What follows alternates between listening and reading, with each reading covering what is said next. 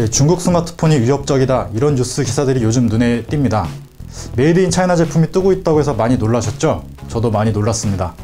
세티즌 이슈 캐치 오늘은 중국 스마트폰 기업들이 어떻게 이렇게 급부상하게 되었는지 차근차근 살펴보도록 하겠습니다. 우선 애플의 iOS와 구글 안드로이드로 거의 양분화되다시피 한 지금의 스마트폰 시장 환경을 생각해 볼 수 있겠는데요.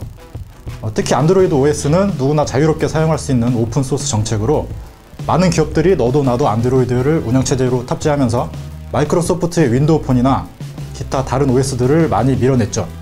그래서인지 피처폰의 신이라 불렸던 노키아도 급격하게 노쇠했고 블랙베리도 안타까울 정도로 많이 힘들어졌습니다.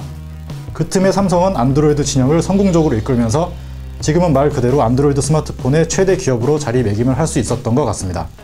네, 이렇게 애플과 삼성이 시장을 석권해가는 동안 중국의 기업들이 이때 상승세를 많이 타기 시작하면서 3위의 자리를 놓고 LG나 HTC, 소니 등의 많은 기업들이 치열하게 경쟁했는데요. 결과는 뭐 엄청났죠.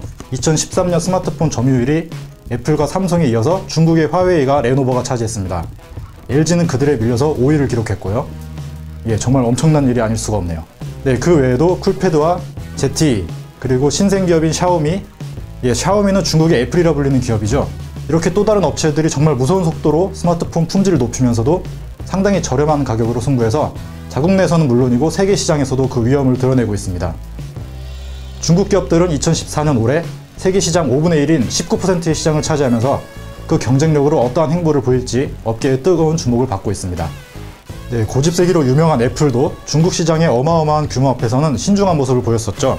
최근엔 아이폰을 판매하기 위해 차이나 모바일과의 계약을 성사시켰는데요. 차이나 모바일의 가입자 수는 무려 7억 5,900만 명. 어, 미국 1위 통신사인 버라이즌의 7배고 우리나라 SK텔레콤의 30배에 가까운 엄청난 숫자입니다.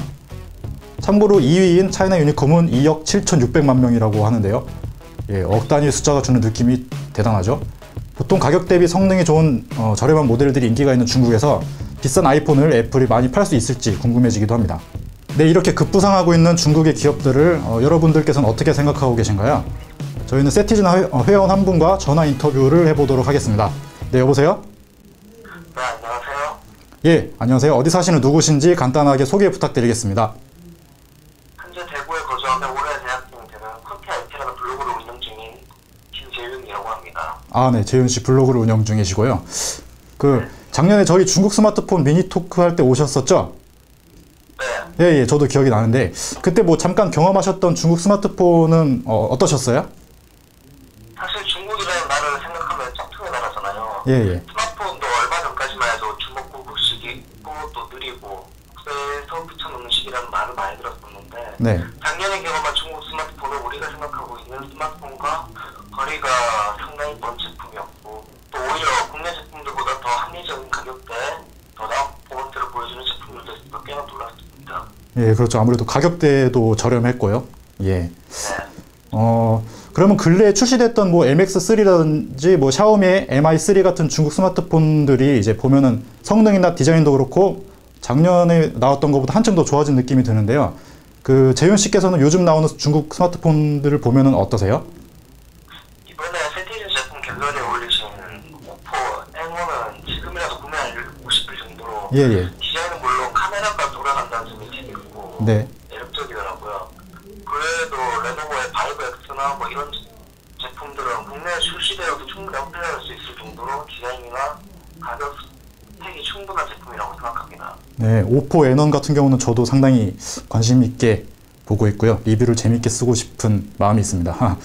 어, 지금은 이제 애플과 삼성이 세계 시장을 거의 반 이상 차지하고 있는데요. 어, 지금의 중국 기업들 기세라면 시장 판도가 뭐 많이 바뀌지 않을까 추측을 해볼 수도 있겠는데 어, 앞으로 스마트폰 시장이나 점유율 같은 거는 어떻게 변하게 될까요? 애플이나 삼성이 현 스마트폰 시장의 시장을 현 스마트폰의 시장을 반 이상 차지하고 있으나 이거 언제든지 바뀔 수 있는 점이라고 생각하고요. 네, 네. 자- 작년 미니토크에서 경험을 보고 또 최근 출시되는 중국 스마트폰을 보면은 점유율이 중국 스마트폰 쪽에서 더 올라갈 수 있다고는 생각하지만 네. 애플과 삼성이라는 트렌드 자체에서는 큰 변화는 없을 것 같습니다. 아, 앞서 말했듯이 언제 바뀔 수- 언제든지 바뀔 수 있는 문제긴 하나 현재 애플이나 삼성의 인지도나 인지도나 제품의 강세가 좀 심하니까 네. 무엇보다도 중국 스마트폰에서는 구글 플레이 스토어가 자체적으로 지원하지 않은 하더라고요. 예, 예. 그런 것만 지원이 되면 또 세계적으로 점유율이 더 높아질 수도 있겠고 그런데요. 그렇죠? 예. 네, 그렇죠. 네, 알겠습니다. 네, 오늘 이렇게 의견 내주셔서 감사드립니다. 네, 이렇게 저희 세티즌 회원분의 생각을 잠깐 들어봤습니다.